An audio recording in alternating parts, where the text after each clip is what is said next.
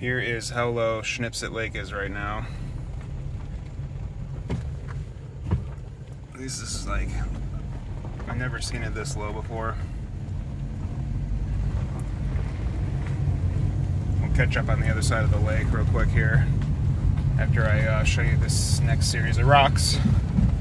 This is where the, the water usually goes up to the, to the wood line right here. Sometimes these trees are submerged.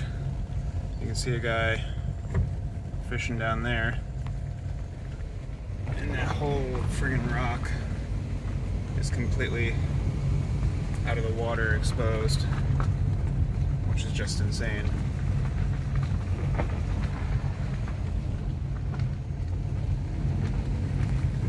So we're gonna go to the other side of the lake real quick, check it out.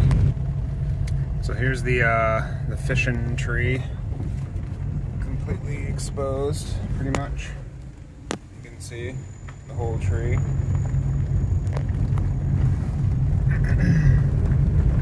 and we're about to uh, head over to this other side of the lake. There's a heron. Right there.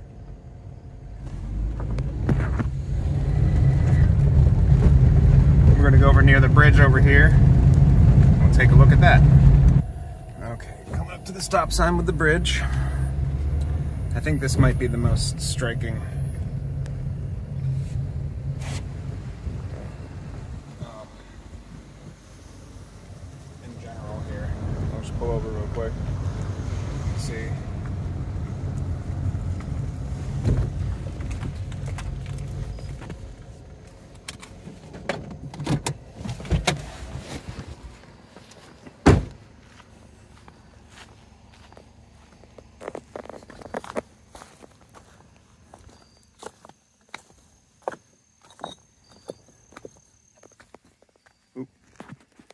Scared away a heron. um, here is the rock that I was standing on when I caught that big um, pike. Or the pickerel, rather. I was standing on the tip of that and I hopped down and walked over here. The tripod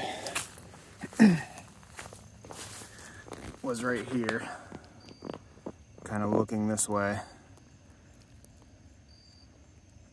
So maybe we can do like a before and after with this shot here. But I have never seen it like this. This is the inlet right now.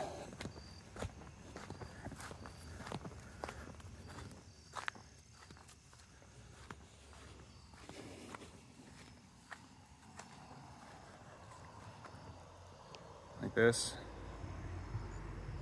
right there is the entire inlet for Shenipsit Lake.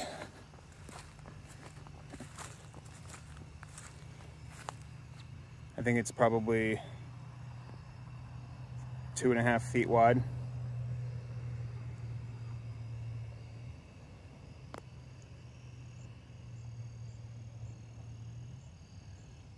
You can see where I'm standing right now. You can see the old water line here. Where I'm standing, I would normally be under my, uh, over my head, for sure. I've never been able to stand this far out. Can almost walk across to the other side of the lake.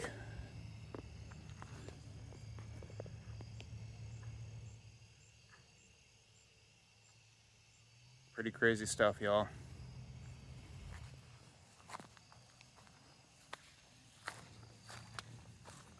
There's also like a billion of these tiny little frogs out here.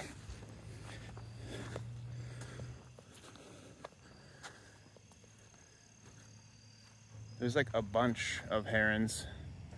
They're probably going nuts, having a field day.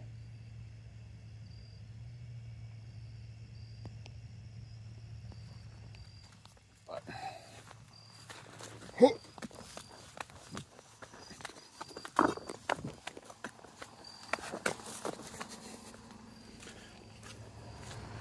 Pretty nuts.